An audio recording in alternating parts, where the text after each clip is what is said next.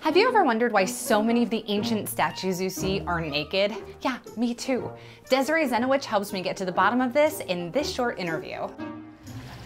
This is the replica of a Roman statue. And why are they all naked? Romans took their cues from the Greeks and they created nude statues like this one of gods and goddesses and sometimes emperors. The thought is that the Greeks believed nudity was powerful, ideal, and beautiful. Sure, I'm Greek. Oh. And I agree with that. it's thought that the Greeks believed male nudity was powerful, ideal, and beautiful. okay. So it's Oh. very specific to the male. There was some nudity in the females as well. They did catch up. They were a little bit more covered up, not as proud as the males. Does not surprise me.